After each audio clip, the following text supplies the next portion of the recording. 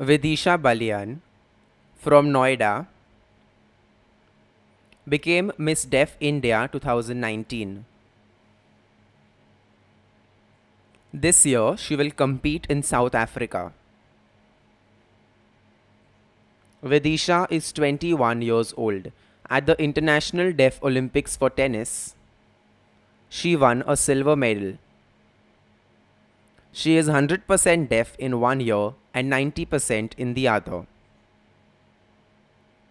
The organizers of the International Beauty Pageant accepted her application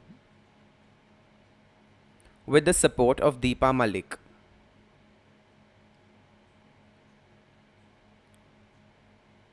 She requested them to support and accept the application. Deepa is a para athlete. In the 2016 Paralympic Games, Deepa participated and became the first Indian to win a medal. Her NGO, Wheeling Happiness,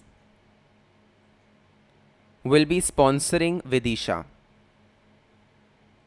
They help in creating a portfolio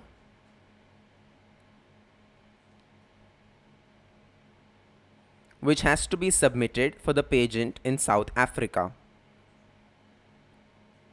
The NGO will completely sponsor her, for example, travel expenses, etc. She hails from a humble background. Vidisha is concentrating on training and her grooming skills like walking the ramp, posing for photographs, and learning traditional dance form. And focused on learning different grooming skills. The people of Noida have extended their complete support to Vidisha. They are supporting her with locations for photo shoots, makeup, grooming, and wardrobe.